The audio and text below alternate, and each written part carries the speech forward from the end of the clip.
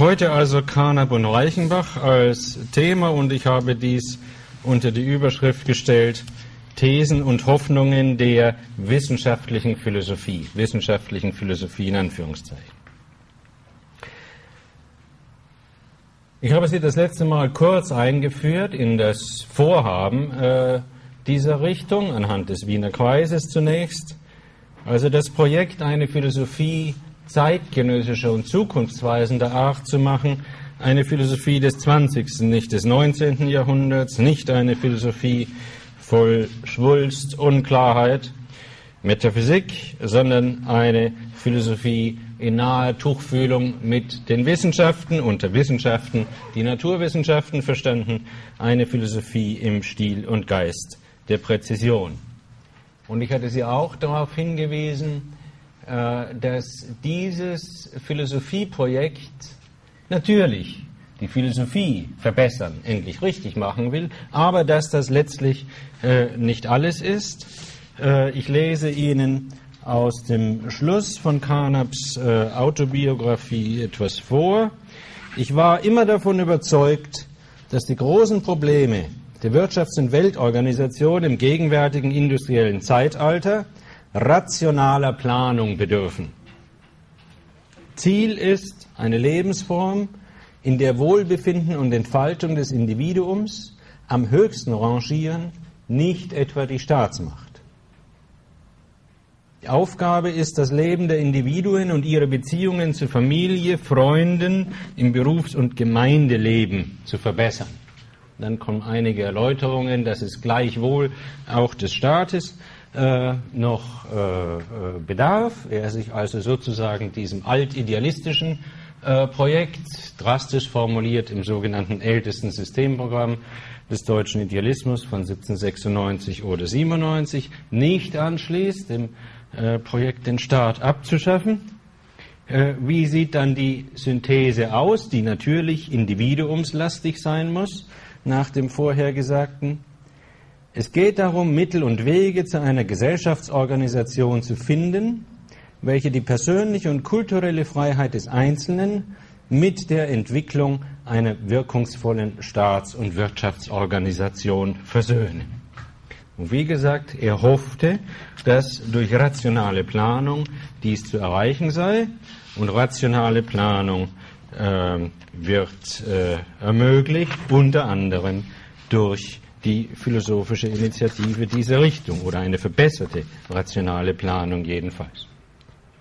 Ich hatte Ihnen auch vorgetragen ein längeres Zitat aus der Schrift von 1928, dem Aufbau der Welt, äh, wo äh, Carnap von dem Ruf nach Klarheit und nach metaphysikfreier Wissenschaft spricht und davon, dass Sie, die Mitglieder des Wiener Kreises, davon durchdrungen seien. Und dass Sie den Glauben haben, dass der Gesinnung, die überall auf Klarheit geht, die Zukunft gehört, dieser Glaube, sagt er, trägt unsere Arbeit. Aber zwischendurch hatte ich Sie darauf hingewiesen, gab es auch eine Passage, wo er, nachdem er dieses Klarheitsmotiv ähm, so in den Vordergrund gestellt hatte, sagte, Klarheit und doch gibt es eine nie ganz durchschaubare Verflechtung des Lebens und auch diese ist anzuerkennen. Wir werden heute in erster Linie das Klarheitsprojekt kennenlernen und uns fragen müssen, ob er jenem weisen Zusatz von 1928 auch die nie ganz durchschaubare Verflechtung des Lebens anzuerkennen, gerecht wurde.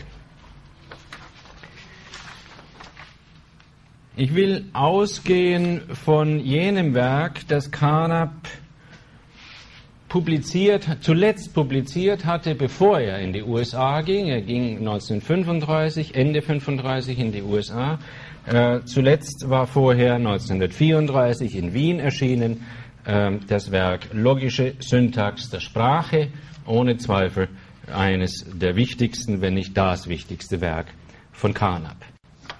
Nun, äh, dieses Werk Ihnen näher zu bringen, ist nicht ganz leicht.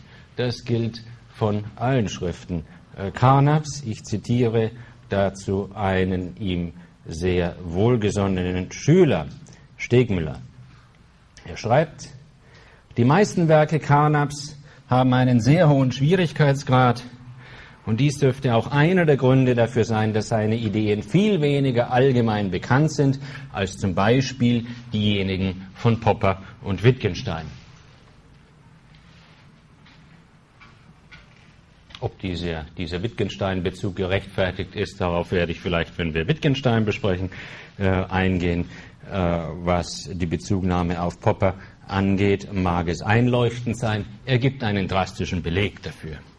Äh, einer der führenden Linguisten und Sprachphilosophen, Bar Hillel, hat berichtet, er sei von dem Werk Poppers Logik der Forschung nach Erscheinen des Werkes so beeindruckt gewesen, dass er es in einem Zug innerhalb von etwa 24 Stunden las. In ähnlicher Weise habe in Carnaps Werk die logische Syntax der Sprache fasziniert.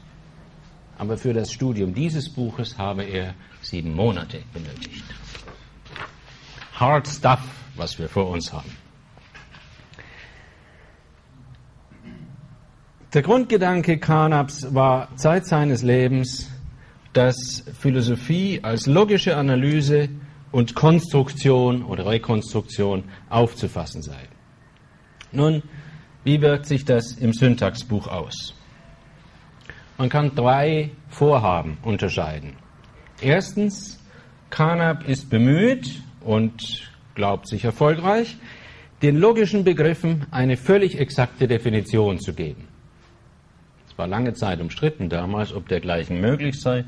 Er meinte nicht nur, dass es möglich sei, sondern dass er es in diesem Werk geleistet habe.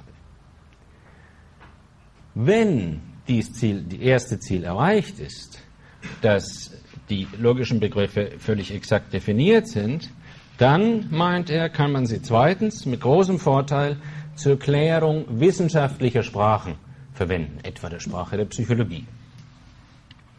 Und drittens gibt es eine Anwendung auf die Philosophie.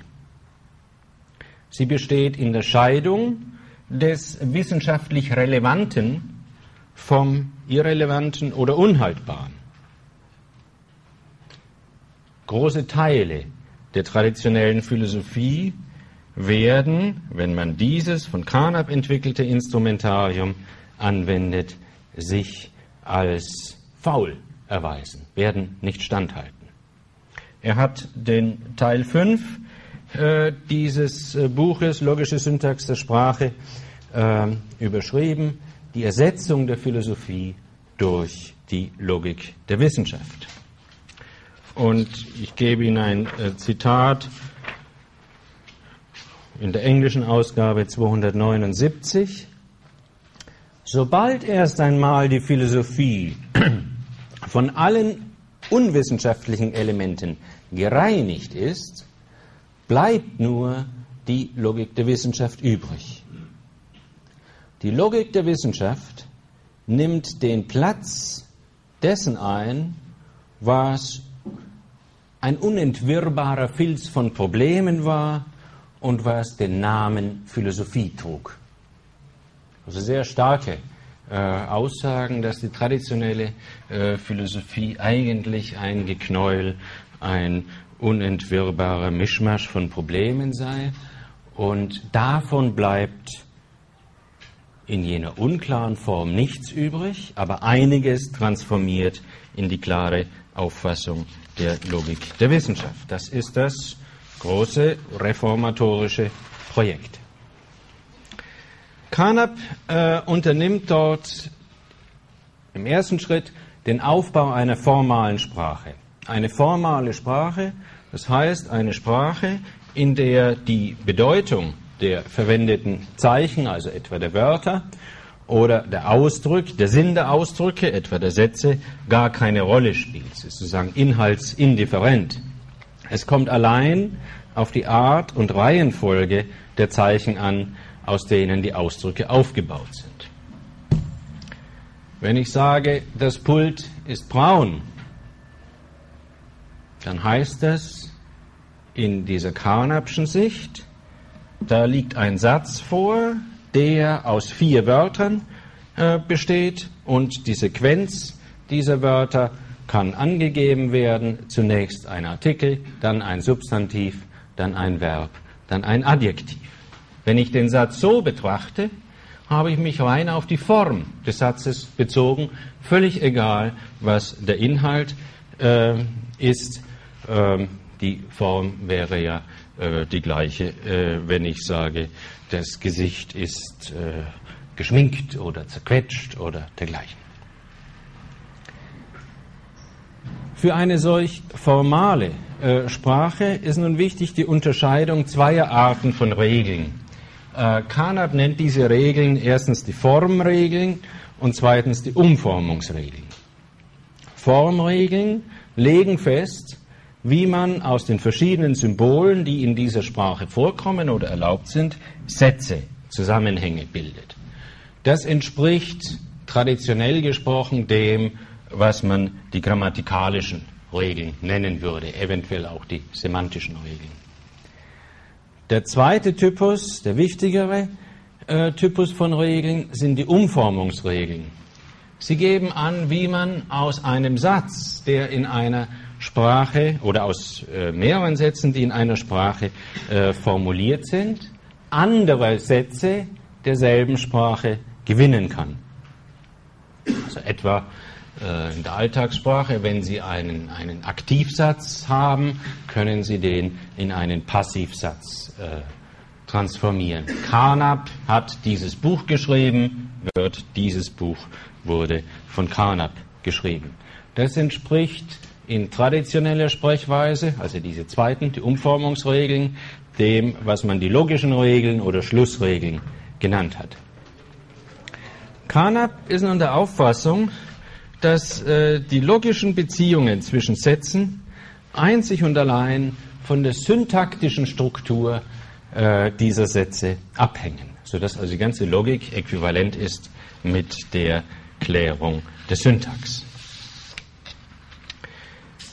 Das ist äh, der Grundblick. Und nun macht er sich an den Aufbau einer diesen Ansprüchen gerecht werdenden Sprache. Er nimmt nicht eine natürliche Sprache, denn die natürlichen Sprachen sind nicht ganz unähnlich der äh, ein unentwirrbares Knäuel oder einen Filz darstellenden traditionellen Philosophie viel zu, ja, positiv formuliert, kom kompliziert, negativ formuliert, unsauber, als dass aus ihnen je etwas Rechtes gemacht werden könnte, so wie äh, äh, wir nicht ganz sicher sind, ob äh, der Mensch nicht aus zu krummem Holz geschnitzt ist, als dass je etwas Rechtes aus ihm werden könnte. Und das nebenbei. Nein, das darf man eigentlich in einer Karnap-Darstellung äh, nicht erwähnen. Das sind Assoziationen.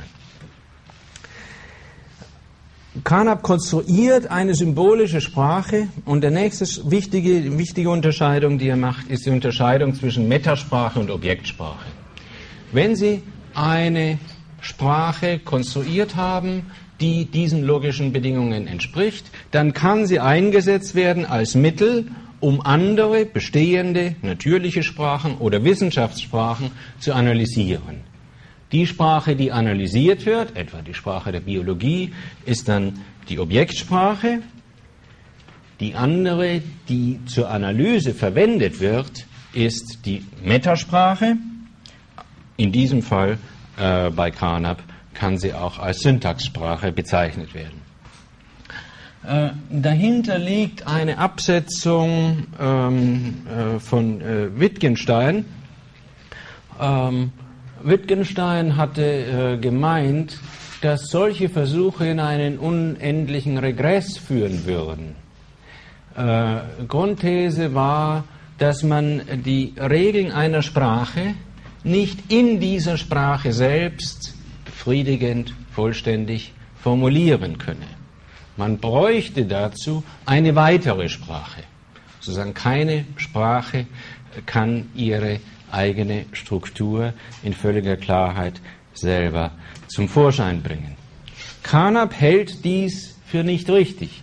Er gibt, kompliziert, Bedingungen an, unter denen es doch möglich sei, dass eine Sprache ihre Syntax selber formuliert. Das braucht er natürlich, um diese einfache Gegenüberstellung äh, von Objektsprache und Metasprache oder Syntaxsprache äh, beibehalten zu können und nicht in den Regress zu geraten.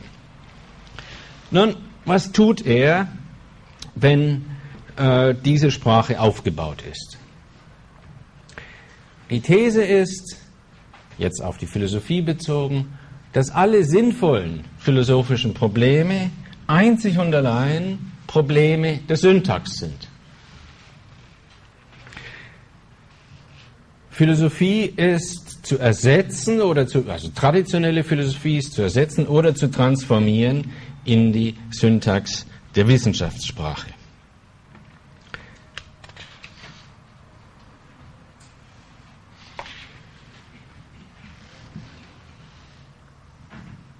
Das hat zum einen den Sinn der Purifizierung. Man kann sich allerdings auch äh, fragen, ob nicht manches, was da wegfällt, vielleicht als solches doch einen Wert in sich besäße, so dass das Verfahren vielleicht doch nur angibt, was zum neuen Stil passt und was nach den Kriterien des neuen Stils sinnvoll ist, aber vielleicht doch nicht ein wirklich neutrales Verfahren, wie es Carnap beansprucht, ausführlich darüber geschrieben, ein neutrales Verfahren ist, um generell festzustellen, ob etwas sinnvoll sei äh, oder nicht.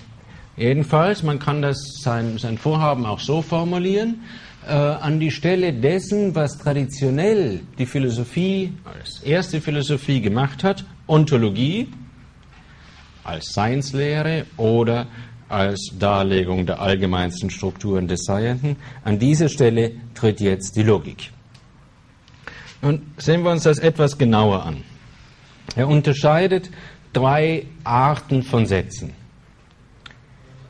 Typus 1, die Objektsätze. Das Pult ist stabil. Typus 3 sind die syntaktischen Sätze.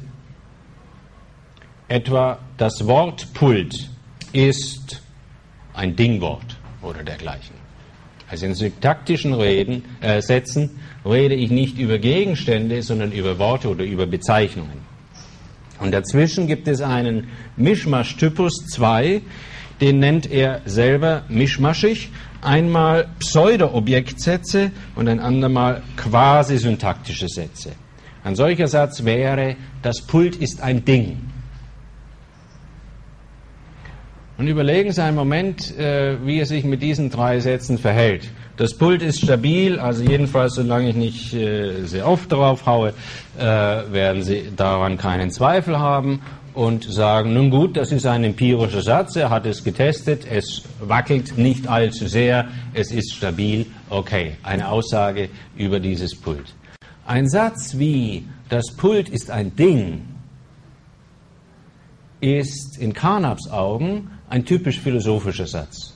Der erste Satz ist einer der Alltagssprache oder der Empirie, Feststellung und dergleichen. Ein typisch philosophischer Satz, da wird dieser Gegenstand einer bestimmten Klasse zugeordnet. Und wenn man dann etwa für Ding auch noch Substanz setzen würde, eine der kantischen Kategorien, dann hat man einen solch merkwürdigen Satz vor sich, äh, wie ihn Philosophen traditionellerweise im Kontext der Ontologie äh, vertreten. Im Alltag würden wir äh, dergleichen nicht sagen. Wir würden zunächst gar nicht verstehen, was das denn soll, zu behaupten, das Pult sei ein Ding. Man würde die Schultern zucken, dass es stabil ist, das macht Sinn. Aber äh, unter äh, traditionellen Philosophen macht es Sinn zu sagen, das Pult ist ein Ding. Damit weiß, zum muss ich den Gegensatz vor Augen halten. Zum Beispiel wäre das ein, ein akzeptabler Satz für Philosophen. Ein nicht akzeptabler wäre, das Pult ist eine Eigenschaft oder das Pult ist eine Zeitbestimmung oder dergleichen. Bei, all, bei allen Sätzen dieses Zwischentypus, dieses Mischtypus, äh, meint ähm, Carnap nun, dass man sie überführen könne in die Reinform der dritten Stufe in syntaktische Sätze, ohne dass irgendetwas an der Bedeutung verloren gehe. sondern die syntaktische Form ist einfach die reinere Sprechweise für das, was Philosophen so mischmaschig ausdrücken. Er gebraucht in diesen äh, Seiten auch die Unterscheidung einer, wie er sagt, inhaltlichen Redeweise und einer formalen Redeweise, wobei Sie bitte nicht meinen, dass der Satz, das Pult ist stabil, das Beispiel einer inhaltlichen Redeweise sei, sondern der viel abstraktere, das Pult ist ein Ding, gilt ihm als Beispiel der inhaltlichen Redeweise. Alle Sätze, die inhaltlich formuliert sind, also etwa alle Sätze, in denen traditionellerweise auf Kategorien äh, Bezug genommen wird, können ihm zufolge in die formale Sprache übersetzt werden und sie sollen es auch. Jetzt werden sozusagen die Schrauben angezogen. Sätze sind nur dann sinnvoll, wenn sie, Zitat, in Übereinstimmung mit den Grundsätzen der allgemeinen Syntax formulierbar sind. Wenn nicht, sind sie nicht sinnvoll. Was heißen kann sinnlos oder was heißen kann theoretisch nicht belangvoll. Dazu gleich noch mehr. Das Prüfverfahren hinsichtlich der philosophischen Sätze ergibt, ergibt dann, dass die eigentlichen metaphysischen Sätze insgesamt Scheinsätze sind. Seine Antwort ist, sie sind ohne theoretischen Gehalt, sie sind bloße Gefühlsäußerungen. Insofern wird äh, die Entwicklung dieser formalen Sprache, die Ausbildung dieser formalen Sprache, ähm, unendlichen Gewinn abwerfen, wenn man a. die Tradition diesem Prüfverfahren aussetzt und b. für die eigene Zeit nur noch in der Dimension dieser sinnvollen Reden sich weiter bewegt.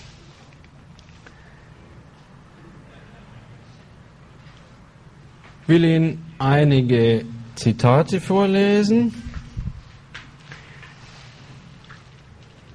Jeder, der mit uns diskutieren will, muss deutlich machen, wie er es machen will, syntaktische Bestimmungen zu geben, anstatt philosophischer Erörterungen. Das ist Seite 45, ähm, logische Syntax der Sprache. Ich lese es noch einmal. Jeder, der mit uns diskutieren will, muss deutlich angeben, wie er es machen will, syntaktische Bestimmungen zu geben, anstatt philosophischer Erörterungen. Diese Forderung verstehe ich sofort. Ein Karnapianer versteht und akzeptiert ja nichts anderes als syntaktische Formulierungen. Also muss ich als Philosoph sagen wir einer anderen Schule, wenn ich mit ihm diskutieren will, unbedingt meinen Kram in seinen Diskurs übersetzen. Herr Kollege, ich glaube ja. Kann es sein, dass Sie zum Semesteranfang nicht hier Ja, da war ich weit weg. Danke. Ähm, also, damit er mich verstehen kann, klar. Damit er das akzeptieren kann, klar. Das ist wie, äh, wenn, äh, je, banaler Vergleich, äh, wie wenn äh, jemand eben einem Amerikanismus anhängt und jeden, der nicht amerikanisch spricht, also nicht etwa Englisch, ich meine Engländer sind da schon dubios, ähm, einfach äh, gar nicht ernst nehmen würde, ist eine andere Sprache, kann ich mit mir kommunizieren. Das ist klar. Nur ist das Zitat ja anders gemeint. Es ist ja nicht so gemeint, wir armen Kerle, wir können nur verstehen, was in, äh, in logischer Syntax formuliert ist sondern gemeint ist, das ist die einzig richtige Art. Und jeder, der anders spricht, soll seine Sprachgewohnheiten gefälligst aufgeben und übersetzen, sozusagen in unser Lager einsteigen. Andernfalls ist er vom Verdikt der Sinnlosigkeit bedroht.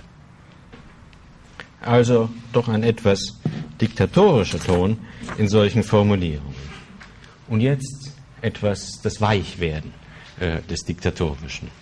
Ähm, Carnap hat äh, zeitlebens immer wieder äh, gewisse Elemente revidiert. Und so schreibt er in der Autobiografie, im Wiener Kreis formulierten wir leider unsere Auffassung in der übervereinfachten Fassung, gewisse metaphysische Thesen seien sinnlos.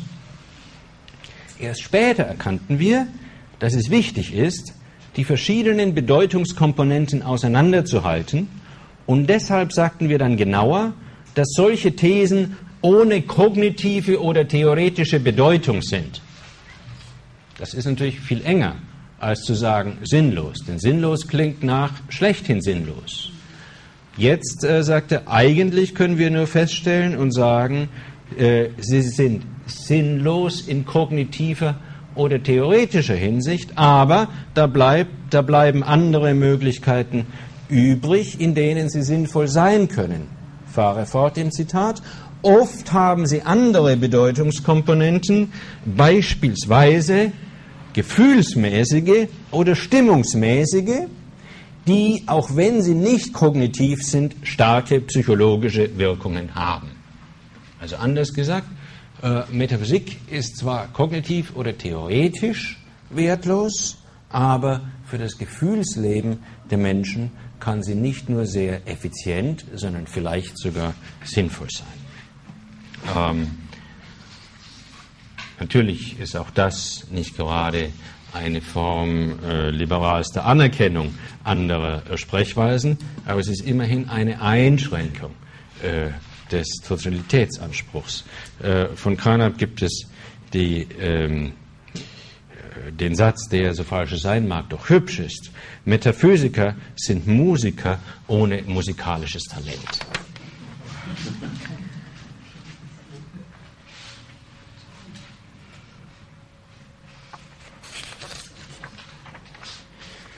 Nun möchte ich,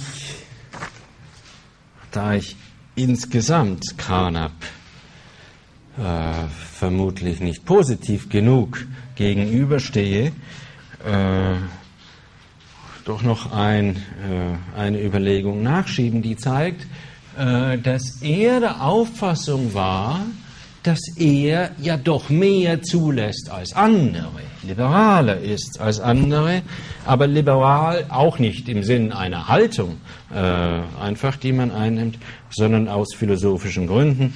Kurzum, er ist liberaler als Wittgenstein, der Wittgenstein des Traktatus. Ich lese ihn äh, vom Ende äh, des äh, Traktatus Logico-Philosophicus äh, die Sätze 653 und 654 vor. Die richtige Methode der Philosophie, sagte Wittgenstein dort, wäre eigentlich die, nichts zu sagen, als was sich sagen lässt. Also Sätze der Naturwissenschaft. Also etwas, was mit Philosophie nichts zu tun hat nur das sagen, was sich sagen lässt, aber das ist Naturwissenschaft und nicht Philosophie. Und dann immer, wenn ein anderer etwas Metaphysisches sagen wollte, ihm nachzuweisen, dass er gewissen Zeichen in seinen Sätzen keine Bedeutung gegeben hat. Diese Methode wäre die einzig streng richtige. Nun muss er im nächsten Abschnitt 654 auf einen Einwand antworten, den man ihm dann machen könnte. Lieber Ludwig Wittgenstein, was hast du denn getan äh, bis äh, kurz vor Schluss äh, deines Buches? Du hast ja Philosophie geredet und nicht Naturwissenschaft, also doch genau das, was du jetzt verurteilst. Wittgenstein, meine Sätze erläutern dadurch, dass sie der, welcher mich versteht, am Ende als unsinnig erkennt, wenn er durch sie, auf ihnen, über sie hinausgestiegen ist. Dann kommt in Klammern die berühmte Leitermetapher. Er muss sozusagen die Leiter wegwerfen, nachdem er auf ihr hinaufgestiegen ist.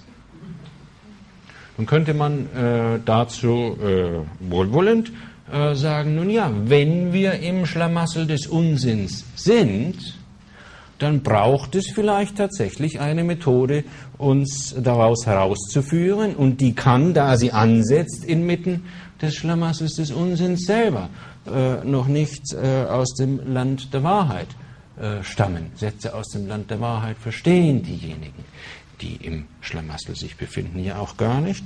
Äh, also prinzipiell unmöglich ist so etwas nicht.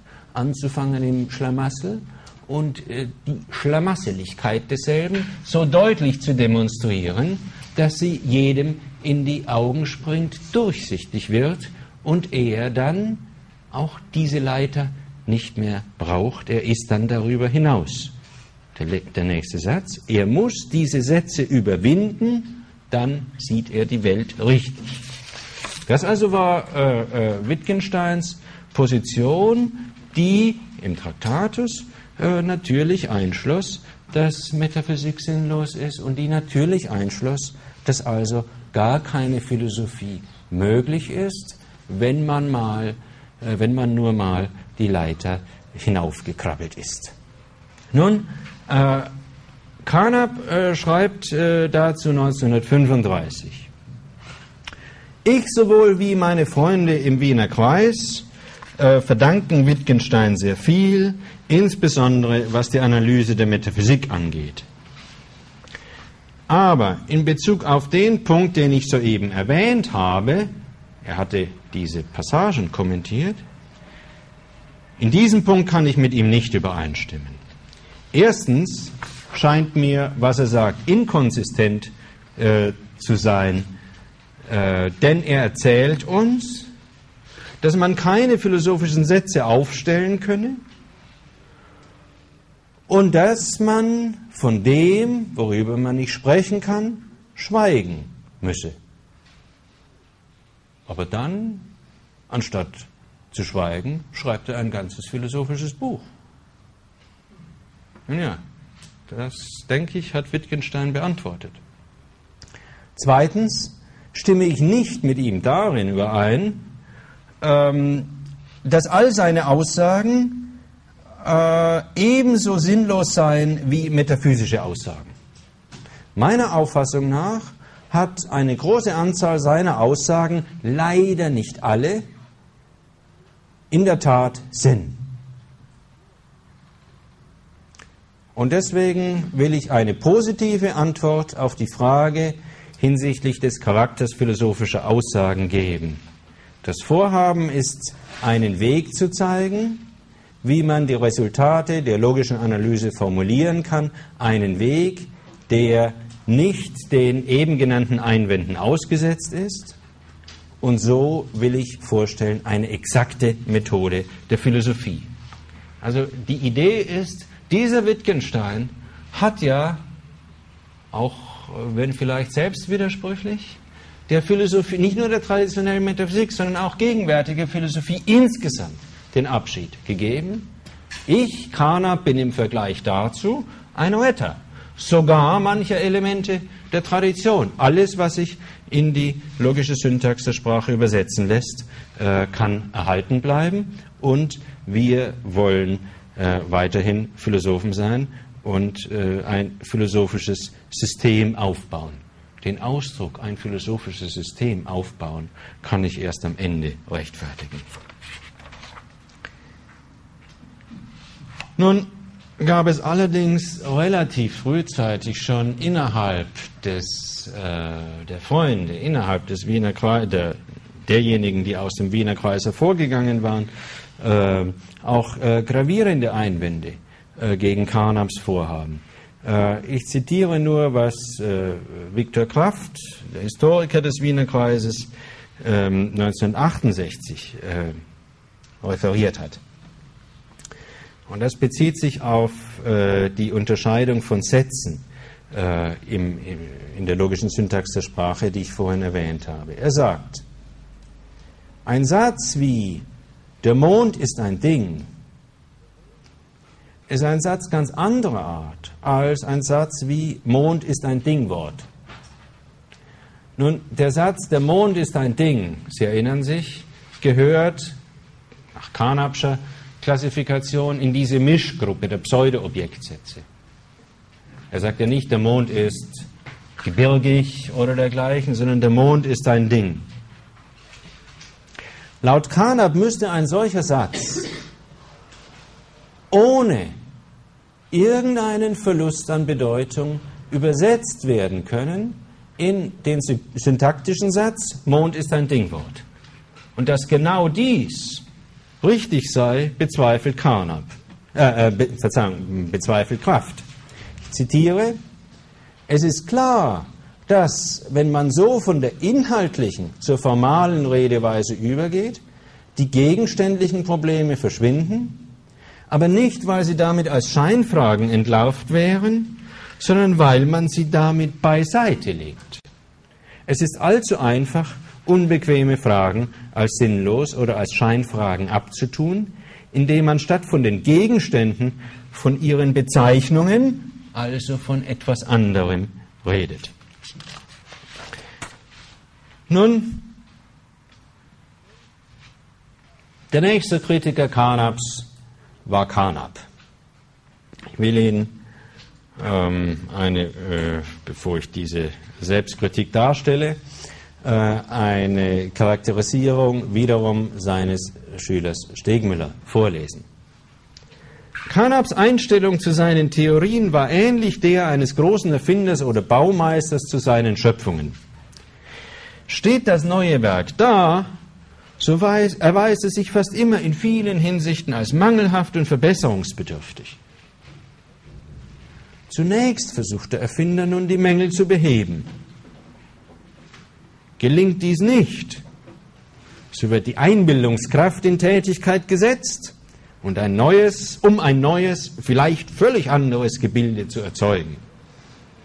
So identifizierte sich Carnap nie persönlich mit seinen Auffassungen. Es bereitete ihm auch dann keine innere Qual, sich von früheren Werken rasch zu lösen, wenn er in diese unsägliche Mühe und Kleinarbeit investiert hatte. Ein wundervoller Mann, wie Sie sehen. Und Stegmüller schließt die Charakterisierung, indem er sagt, der schärfste Kritiker von Carnap hieß stets Carnap. Nun, das ist eine äh, nicht bloß gelinde Übertreibung eines wohlwollenden Schülers, das werden wir gegen Ende sehen. Aber immerhin, Carnap war natürlich ganz äh, dem Geist dieser wissenschaftlichen Methode auch entsprechend, die immer wieder äh, auf Fallibilismus äh, gesetzt hatte, immer bereit, äh, Probleme neu anzugehen und seine Theorie zu verbessern. Aber wir werden am Ende auch über Grenzen des Versuchs zu sprechen haben.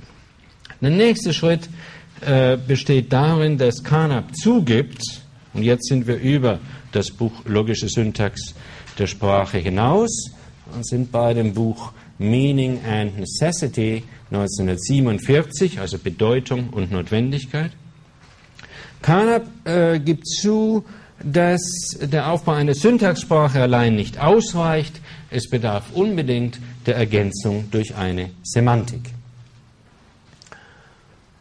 Und wenn man von Carnap gesagt hat, und wiederum, es war Stegmüller, der das tat, er sei der eigentliche Begründer äh, des Linguistic Turn, äh, also der sprachphilosophischen Wende, äh, dann äh, ist das nicht nur historisch äh, falsch und in vielem übertrieben, äh, sondern es ist allenfalls dann überhaupt akzeptabel, dass Carnap ein Sprachphilosoph gewesen sei, wenn man dieses Stadium ins Auge fasst, wo er von der, zur Syntax zusätzlich die Semantik äh, thematisiert. Aber natürlich weit entfernt von dem, was man sonst kennt als Ordinary Language Philosophy, äh, die aus Ansätzen des späteren Wittgenstein herausgewachsen war. Also in diesem Buch Bedeutung und Notwendigkeit von 1947 äh, will Carnap angeben, wie das Studium der Bedeutung von Ausdrücken vorzunehmen sei. Die Ausdrücke nennt er Designatoren, äh, die jeweils auf ein Designatum äh, bezogen sind. Äh, ich gehe nicht auf etliche Details ein, auch Morris ist wichtig und die ganze Zeichentheorie, die da einen Einfluss hatte. Manchmal spricht er auch statt von Semantik von Semiotik. Der Punkt ist, dass man jetzt zwei Übersetzungen, oder das Ergebnis ist, dass man jetzt zwei Übersetzungen vornehmen muss, ihm zufolge. Wenn Sie einen Satz finden in der alten Philosophie, einen gegebenen Satz oder einen Satz in einer Wissenschaftssprache, äh, dann muss man den zunächst in einen sauberen semantischen Satz umbauen. Man muss genau äh, herausfinden, wie die Bedeutungsstrukturen in dem Satz sind und den semantischen Satz dann aber nach wie vor in einen syntaktischen äh, übersetzen. Äh, ich erwähne nur am Rande, dass dabei eine sehr wichtige, äh, sehr folgenreiche, lange diskutierte Unterscheidung eingeführt wird von Carnap, äh, die Unterscheidung des Intentionalen und des Extensionalen. Ähm, wenn Sie eine, eine Bezeichnung, einen Designator haben, dann gibt es zwei Richtungen, in welche dieser funktioniert oder aktiv ist. Er zwei Funktionen. Äh, erstens gibt er ihnen so etwas an wie den Sinn. Was ist damit überhaupt äh, gemeint? Stuhl etwa. Zweitens, äh, eine andere Frage äh, ist, äh, wie steht es mit dem Anwendungsbereich dieses Terminus? Auf welche Gegenstände ist er anwendbar. Die erste Analyse wäre die intentionale, die zweite wäre die extensionale, äh, um es am berühmten alten Fregischen Beispiel von Abendstern und Morgenstern zu explizieren. Frege hatte das in Übersinn und Bedeutung 1892 eingeführt. Äh, wie Sie wissen, Abendstern und Morgenstern sind in gewissem Sinn gleich oder dasselbe, Venus, aber das war ja auch historisch nicht zu allen Zeiten äh, bekannt und es mag auch ihre Empfindung beim Abendstern äh, eine andere sein als beim Morgenstern. Äh, Frege sagte also, dass die äh, beiden einen unterschiedlichen Sinn haben, Morgenstern und Abendstern, aber die gleiche Bedeutung. Und in der Terminologie von Carnap würde äh, das ebenfalls heißen. Der Sinn ist unterschiedlich, aber dann statt Bedeutung, was ja ohnehin ähm, ja, als technischer Terminus ja verständlich sein kann, aber mit dem gewohnten Sprachprofil sich nicht ganz deckt, äh, statt Bedeutung sagt Carnap Anwendungsbereich. Carnap hat sich später in den äh, in seiner Lehrzeit in den USA, äh, insbesondere mit der Analyse des Wahrscheinlichkeitsbegriffs äh, beschäftigt, aber das sind hochabstrakte logische Überlegungen, die wir uns hier ersparen können.